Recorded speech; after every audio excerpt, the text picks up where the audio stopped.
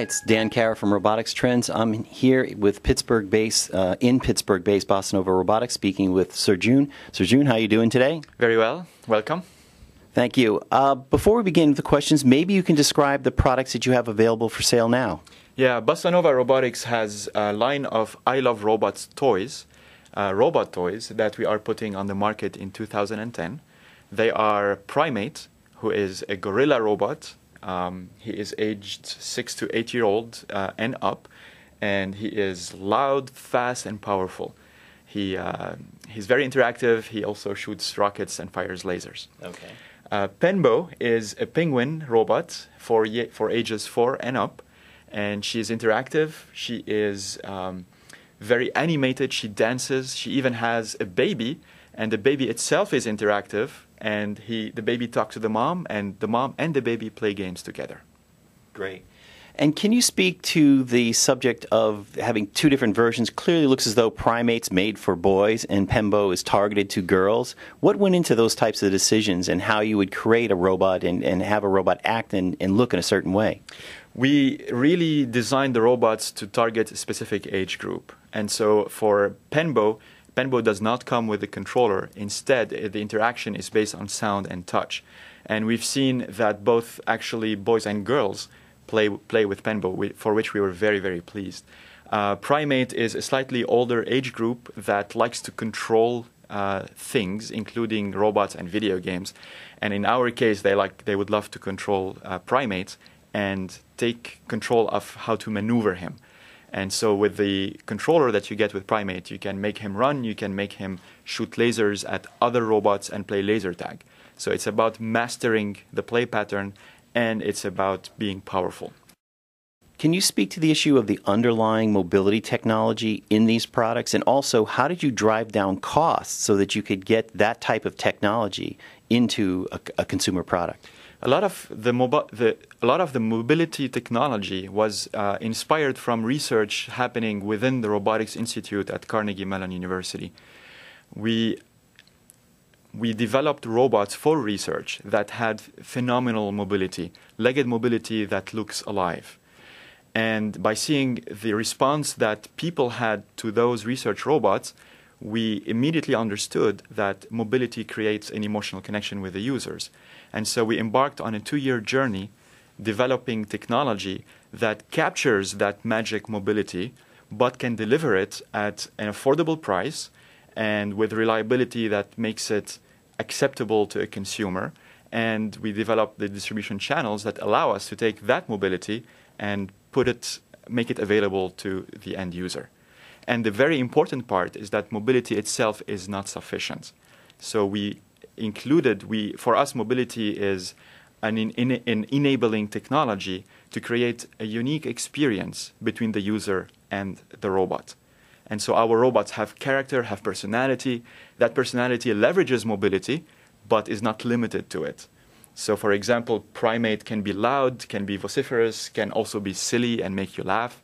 Uh, similarly, Penbo uh, uses mobility to express that she's happy, so she is dancing, for example, or to play games, so she plays hide and seek. We spoke a little bit about driving down the prices for this type of technology that's spun out of research, but there's another side to it as well. How do you make something cheaply enough, but also robust enough so that a four year old to eight year old can use it without breaking it or themselves getting hurt. hurt. Yeah, this is a very very good point. It was a major part of the two year of development that we that that we embarked on. It's not. Um, it's a discipline that we have learned, and uh, that it's a discipline that we have learned, and we've learned it in, collabora- in, in collaboration with our manufacturing partners who have experience developing robust products toys and consumer electronics uh, over years. So, for in our case, we had to learn how to make the technology uh, efficient enough so that it can be powered with off-the-shelf batteries, for example. We made it robust enough that if you drop the robot from a table, he will not break. Um, and most likely will continue operating. We uh, developed it such that it's also safe. We have put safety features in it the design itself will prevent any finger pinching. We have sensors that will uh, prevent the robot from moving if you ever wedge your finger under his feet, for example. So those features are integral to the design of the robot.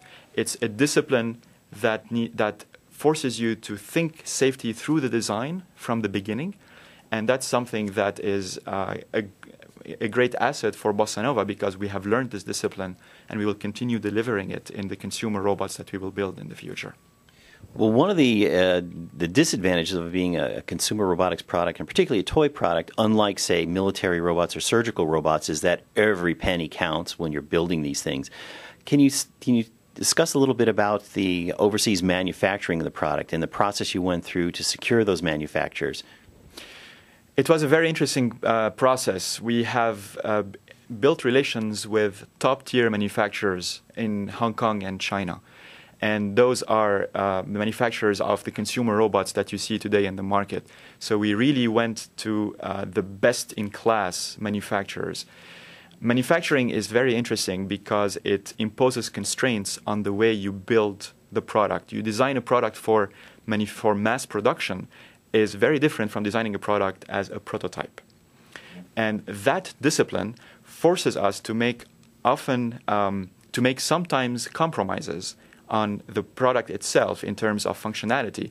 But what we have learned is once we put those constraints on the robot so that it is mass manufacturable, we can then go back and redesign features to take advantage of those constraints and, and, and deliver an even more compelling experience than we thought we could at the beginning. So that process of developing a mass, pro- mass producible product is, is really interesting. It takes time to learn it did take us two, the better part of two years, um, but it's very enriching, and it will allow us, as I said, to keep delivering on those consumer robots. Earlier on, we were discussing how you had changed the form factor of the robot to get around the problem of having to put in high level sensors and, and, expensive technology into the robot. So, actually, using the robot's form factor to uh, and and to overcome the need for having high price technology. Can you talk a little bit about that? Yes, uh, Prime-8 is a, a, running robot that runs on his arms.